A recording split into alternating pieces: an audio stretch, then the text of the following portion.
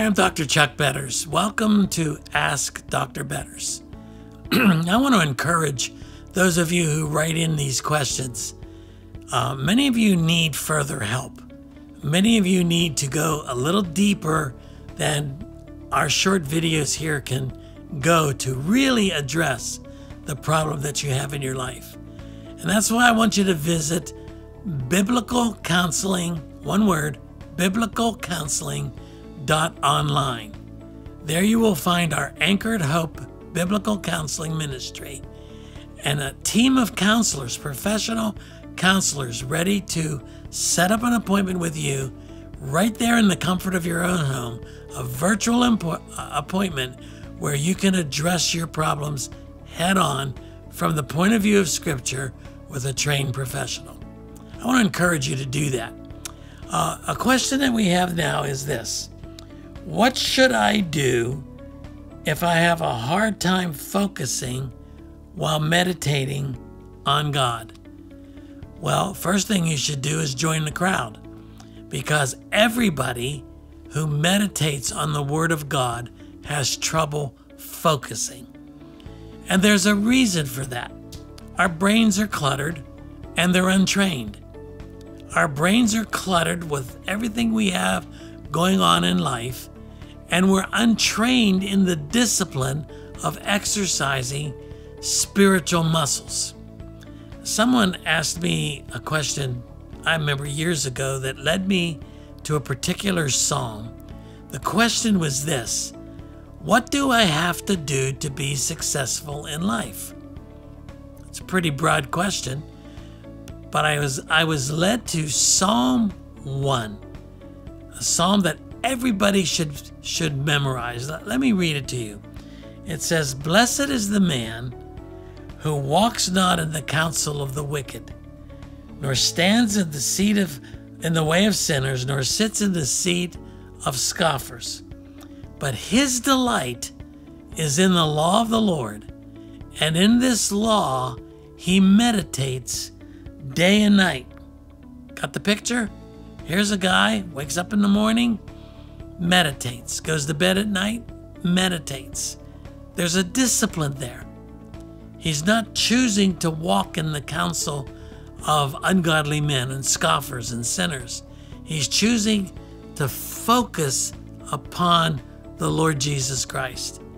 Well, there's some promises made and some warnings made when verse 3 says, He, the meditator, is like a tree planted by streams of water that yields its fruit in its season.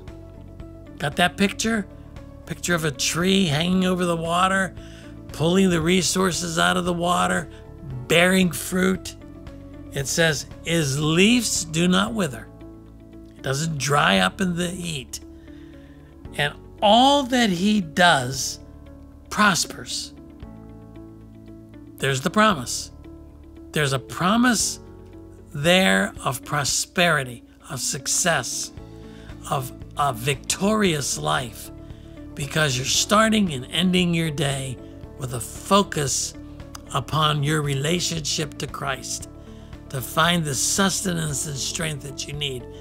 But then he warns, he says, The wicked are not so. They are like the chaff that the wind drives away. Therefore, the wicked will not stand in the judgment, nor sinners in the congregation of the righteous. For the Lord knows the way of the righteous, but the way of the wicked will perish. You know, you look at news features uh, today of all the wealthy people who are miserable, wealthy people who do everything right business wise they cash in and they have great success. Now, there's nothing wrong with wealth. There's nothing wrong with accumulating riches for a purpose. I know people who have accumulated great riches, they give nothing to spiritual causes. They hoard it all. Well, their day is coming. God sees that, He knows that. They're not at all reflecting their their belief that all that they have comes from the Lord. We can do nothing apart from the Lord. You know, in the New Testament, there were rich people. The Apostle Paul was one of them. He was a very wealthy man at one point. He lost it all in court cases, defending himself. He went from being a rich man to a pauper, to having nothing. He knew what it was like, he would tell us. I know how to, I know what it is like to abound, and I know what it is like to suffer loss. But I have also learned in whatever state I find myself to be content. He learned the secret of contentedness, and that's really the definition of success.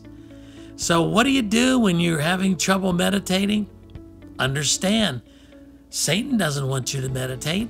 He doesn't want you to calm yourself of everything that's happened during the day and focus upon Jesus. He'll fill your mind with everything. He'll, you throw the clutter out, he'll throw the clutter back in because he does not want you to focus upon the Lord Jesus Christ.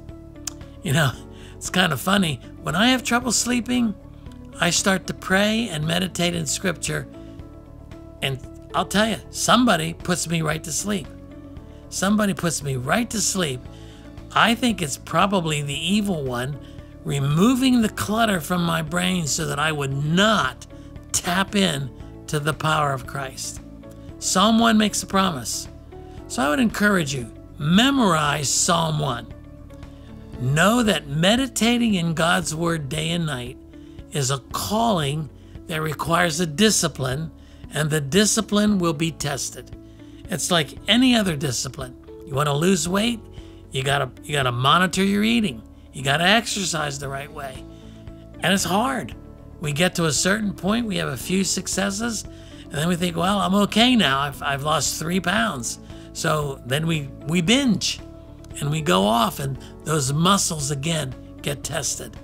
Same thing is true of our spiritual lives.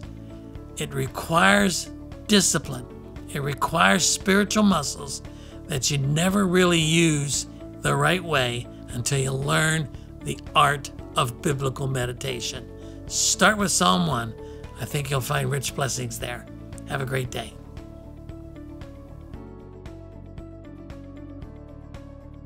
Hi, my name is Melissa Weisenfels, Executive Director here at Mark Inc. Ministries.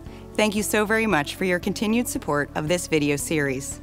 Ask Dr. Betters is not meant to be a substitute for professional counseling, but instead is designed to extract biblical principles around the questions being asked. We encourage you to seek professional counseling if needed.